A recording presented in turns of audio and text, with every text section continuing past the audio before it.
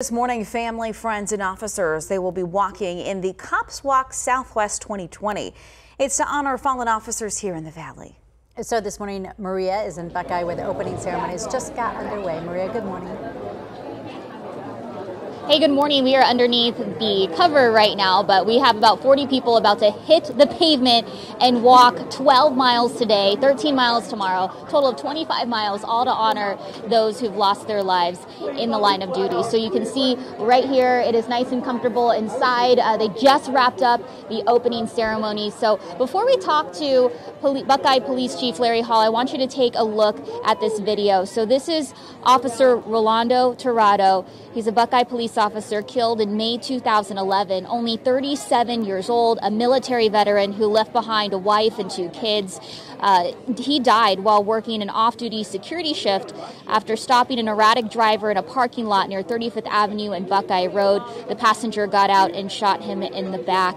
And so his wife is out here today. We haven't had a chance to reach her just yet, but we do want to bring in Chief Larry Hall right now. Uh, this is quite the event. I mean, 25 miles walking in the rain and, and, and all for uh, really never forgetting those who've risked their lives. That's correct. Yeah, we this is our uh, we do this event annually, Cops Walk Southwest.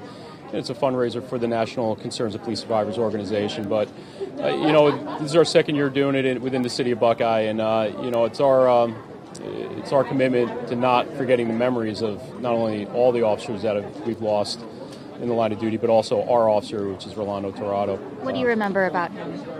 I remember he was an extremely funny individual. He was he could uh, he was he was uh, but he cared a lot at the same time. He would razz people all the time, but he had a very caring heart, and he always, as a school resource officer, he was always worried about the kids, and he always. Uh, uh, he would always intervene when things were going south with kids. And, he, and for some reason, he always knew when something was up, that something was going on within it with uh, some of the kids were like they were about ready to make a bad decision, and he would always intervene before the decision was made. So he uh, he definitely was trusted. he was admired by a lot of those uh, kids at uh, Youngker High School, and uh, and his coworkers also admired him as well. And I know, it, so his family out here, other fallen uh, police officer families. In fact, you have one that you wanted to introduce me to right behind you, right? Where'd she go? Where'd she go? Oh, dude, this is, yeah. Hi. Hi. Good morning, Maria with Channel 3. I know I didn't get to talk to you earlier, but tell us a little bit about Nick and just uh, what it means for you to be here. Um, well, Nick was with Phoenix PD. He lost his life in 2007, and this is actually my first cops walk. My niece convinced me to do this, so I'm doing this um, with her, which is exciting. And I think you know Nick was would probably be looking down at us and laughing right now because it's pouring rain, and he loved a practical joke more than anybody. So um, we're excited to do this. This is been an organization that's been extremely helpful for my family, for my sons.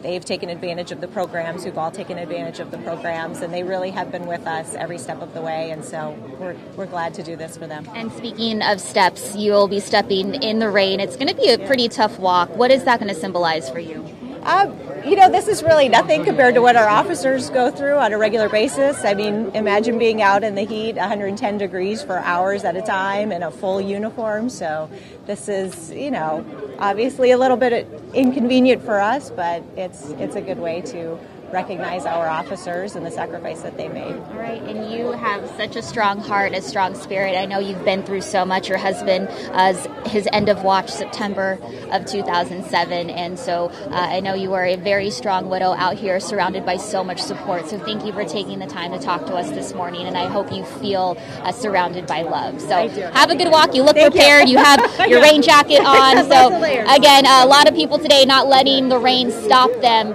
from doing what they had scheduled today. So everyone's decked out in their ponchos, in their blue. We even have a cowboy hat, all nice and lit up over here. So that's what's happening. We're live in Verrado. Again, this is a neighborhood in Buckeye, just north of the 10 and uh, west of the Loop 303, and they are getting ready to head on out uh, for for this special event. Ladies, back to you.